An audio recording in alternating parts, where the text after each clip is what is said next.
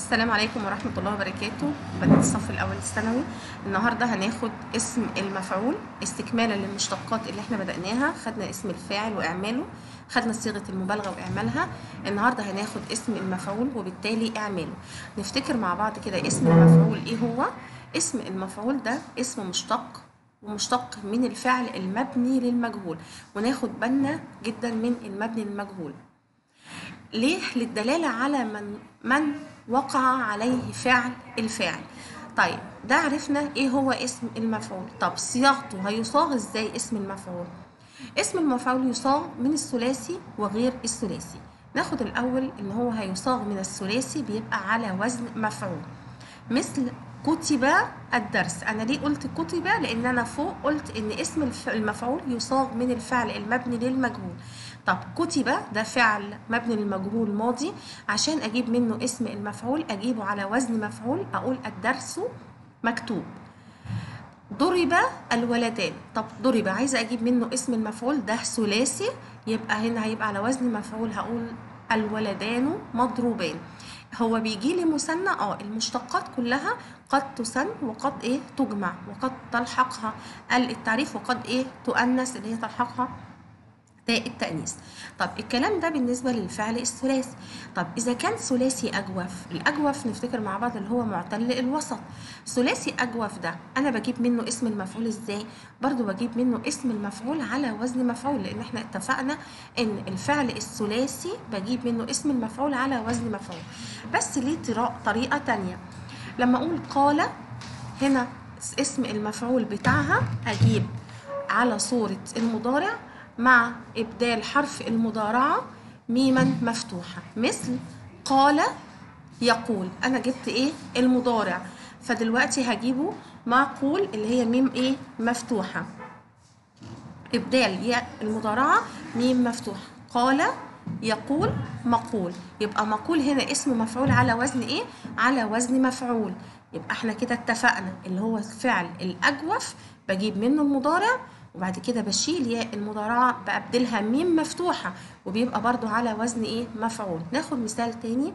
صان يصون مصون. صان معتل الوسط أجوف.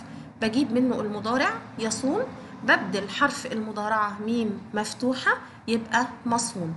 طيب نجيب مثال تاني. باع. ده فعل ماضي ثلاثي. معتل الوسط. عايزة أجيب منه اسم المفعول أجيب. المضارع هيبقى يبيع هبدل حرف المضارعة اللي عندي دي ميم مفتوحة بقت مبيع. إذا كان الفعل الثلاثي ناقص لو الفعل الثلاثي ناقص يعني إيه ناقص؟ يعني معتل الآخر.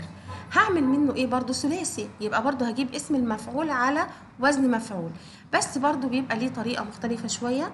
هنقول جاء اسم المفعول منه على صورة مضارعه برضو يعني أجيب منه صورة المضارع وهبدل حرف المضارعة ميم مفتوحة زيه زي المعتل الوسط أو الأجوف. بس مع اختلاف بسيط إن إحنا هنشدد الحرف الأخير. زي دعا دعا هيبقى إيه؟ يدعو. آه، في ألف هنا غلط يبقى تتمسح. دعا هجيب المضارع منها يدعو. هبدل حرف المضارعة ميم مفتوحة. بقت مدعو.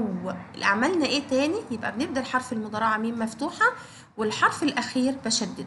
ده بالنسبة للفعل الناقص. طب ناخد مثال تاني. كسى هنا أجيب المضارع بتاعها يكسو. المفروض هبدل حرف المضارعة ميم مضمومة ميم مفتوحة وهفت وهشدد الحرف الأخير. يبقى كسى يكسو هتبقى مكسو بنى يبني مبني. قضى يقضي مقضي. كل دي بالنسبة للفعل الناقص. كل ده بيبقى على وزن ثلاثي على وزن مفعول. كل ده اتكلمنا على صياغة اسم المفعول من الفعل الثلاثي. طب هنيجي بقى صياغة اسم المفعول من الفعل غير الثلاثي. صياغة اسم المفعول من الفعل غير الثلاثي بيبقى على صورة المضارع بتاعته بجيب المضارع مع إبدال حرف المضارعة ميم مضمومة بقى ميم مضمومة وفتح ما قبل الآخر. ونركز في ما فتح ما قبل الآخر دي علشان ما تتلخبطوش ما بينه وما بين اسم الفاعل المشتق أو الاسم الفاعل اللي إحنا صغناه من الغير الثلاثي. هنيجي عندي انطلق. هيبقى منطلق. منطلق. هجيبها إزاي؟ انطلق ينطلق. جبت المضارع أبدلت حرف المضارعة ميم مضمومة وفتح ما قبل الآخر بقى منطلق. زي الهدف منطلق إليه طيب انتصر ده فعل غير ثلاثي. هجيب المضارع ينتصر هبدل حرف المضارعة ميم مضمومة وافتح ما قبل الآخر. هيبقى إيه؟ منتصر. المعركة منتصر فيها. طيب في ملحوظة مهمة إن إحنا إذا أتينا باسم المفعول من فعل لازم إحنا قايلين إن هو الفعل يا إما لازم بيكتفي برفع الفاعل أو متعدي بينصب فاعل أو بينصب مفعول أو بينصب مفعولين. طب إذا جبنا اسم المفعول من فعل لازم لابد أن يأتي بعده شبه جملة زي الأمثلة اللي عندنا أهي. منطلق منطلق. هنا من فعل انطلق اللي هو لازم فجيب بعديه شبه جملة. افتكرنا مع بعض صياغة اسم المفعول وصيغه إزاي من الثلاثي وغير الثلاثي. هنتكلم على عمل اسم المفعول. وفهمنا يعني إيه عمل اسم المفعول؟ ان هو إزاي اسم المفعول يعمل عمل فعله. وقلنا تاني ان الفعل بيرفع فاعل وبينصب مفعول أو يرفع فاعل وينصب مفعولين أو يرفع فاعل فقط. هنشوف عمل اسم المفعول. يعمل اسم المفعول عمل فعله المبني للمجهول. المبني المجهول بيعمل إيه؟ بيرفع ما بعده على أنه نائب فاعل. يبقى ده عمل الفعل المبني للمجهول. عشان كده ركزت لكم في الأول وقلت لكم نخلي بالنا من إن هو يصاغ من الفعل المبني للمجهول. طيب يبقى هنا تاني. اسم المفعول يعمل عمل فعله المبني للمجهول يرفع ما بعده على أنه إيه؟ نائب فاعل مرفوع. زي أمذاعة المباراة اليوم المباراة اليوم المباراة نائب فاعل مرفوع بالضمة. ليه؟ لأن قبليه هنا اسم مفعول عامل. وهنرجع نشوف هو ليه هنا عامل وعمل عمل فعله. ناخد مثال تاني النحو هو المفهوم شرحه شرحه. فهنا شرحه هنا نائب فاعل برضو لاسم المفعول. يبقى عندي هنا المفهوم اسم مفعول عامل معموله فين؟ معموله اللي هو شرحه. شرحه نائب فاعل لاسم المفعول اللي هو المفهوم. طيب من الممكن برضو إن اسم المفعول يرفع نائب فاعل وينصب مفعولا به بس إمتى؟ لو هو جاي مشتق من فعل متعدي يتعدى لمفعولين. زي هل ممنوحة المرأة حقوقها؟ هنا المنح الفعل منح من الأفعال المتعدية اللي هي تنصب مفعولين. فلما يجي لي منه اسم المفعول المفعولين المفعول الأول هيكون نائب فاعل والمفعول الثاني هيبقى زي ما هو كما هو إيه مفعول به ثاني. يبقى هنا ممنوحة اسم مفعول عامل وهنقول برضه هو ليه عامل وهنفتكر شروط عمله. المرأة هتبقى نائب فاعل. مرفوع وعلامة رفع الضمة حقوقها مفعول به تاني. طب والمفعول الأول فين؟ ما هو المفعول الأول بقى نائب فاعل لاسم المفعول العامل طيب هناخد بقى شروط عمل اسم المفعول. إمتى بيعمل اسم المفعول؟ إحنا إذا كان اسم المفعول مقترنا بأل يعمل على الإطلاق يعمل بدون شروط.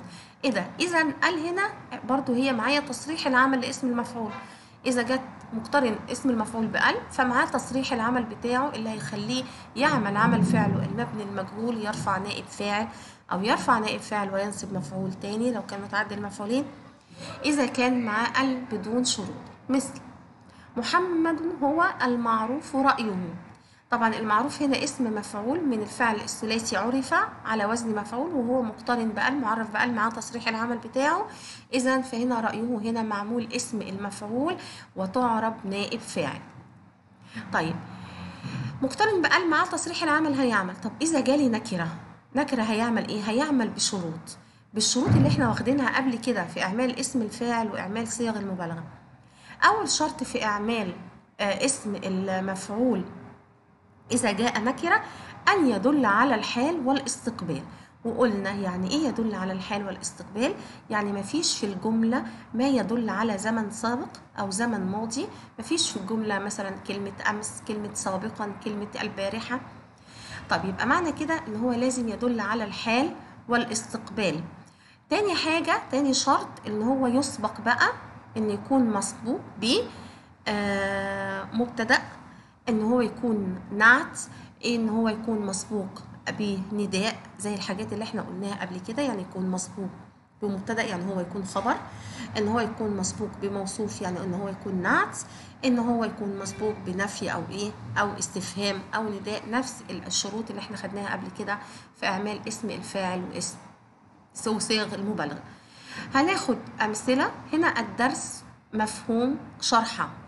مفهوم هنا مدل على الحال والاستقبال وطبعا هنا معتمد على مبتدأ ومفهوم خبر. فهنا شرحه معمول لاسم شرحه معمول لاسم المفعول العامل. فهنا شرحه هتعرب نائب فاعل مرفوع لاسم المفعول. ولما نيجي نعرب يا بنات ما ننساش إعراب الضمير. آه مثل ما مهانة البنت في بيت أمها. هنا ده مسبوق بنفي. ما مهانة البنت في بيت قصدي أبيها. آه فهنا البنت نائب فاعل مرفوع. هل ممنوح العامل أجره؟ هنا العامل نائب فاعل هنا ممنوح. اسم فاعل اسم مفعول عامل. دل على الحال والاستقبال ومسبوق باستفهام آه العامل آه نائب فاعل مرفوع وعلامة رفعه الضمة. أجره مفعول به ثاني منصوب وعلامة نصبه الفتحة طيب كل اسم مفعول سبق بنفي أو استفهام بيعرب مبتدأ وما بعده نائب فاعل سد مسد الخبر دي ملحوظ. طب أو يسبق بمبتدأ زي الحديقة منسقة. أهي برضو الحديقة منسقة أشجارها دل على الحال والاستقبال ومعتمد على مبتدأ وهو خبر. يبقى هنا اسم فاعل عامل اسم مفعول عامل أشجارها نائب فاعل مرفوع وعلامة رفعه الضمة وإعراب الضمير في محل جر مضاف إليه. طب أو يسبق بموصوف ويكون هو اسم المفعول صفة أو نعت أقول خالد رجل محترم أبوه. خالد رجل محترم أبوه. محترم هنا اسم مفعول عامل إن هو جه نعت وقبليه موصوف. هنيجي على أبوه. أبوه نائب فاعل مرفوع وعلامة رفعه الواو. قد يضاف اسم المفعول لمعموله ان هو يجي مضاف لمعموله يعني اللي بعديها مش هيعرف نائب فاعل. زي هذا مهضوم الحق. الحق هنا مضاف إليه من باب إضافة اسم المفعول لنائب الفاعل. بعض عندنا ملحوظة إن الكلمة التي تأتي بعد اسم المفعول لو فيها ضمير تعرب نائب فاعل مثل هو المحترم هو المحترم رأيه. يبقى هنا الكلمة اللي جاية بعد اسم المفعول لو فيها ضمير هتعرب نائب فاعل والمقترنة بأل تعرب مضاف إليه. المقترنة بأل تعرب إيه؟ مضاف إليه. مثل هو المحترم الرأي يبقى هنا بعد اسم المفعول لو الكلمة فيها ضمير هتبقى نائب فاعل لو فيها ال هتبقى مضاف إليه. طب والكلمة المنونة بعد اسم المفعول تعرب تمييز زي هو المحترم رأيا. يبقى نخلي بالنا الكلمة لو بعد الاسم المفعول لو هي فيها ضمير هتعرب نائب فاعل لو هي معرفة بال هتعرب مضاف إليه لو هي منونة هتعرب تمييز. وده كان درسنا النهارده. السلام عليكم ورحمة الله وبركاته.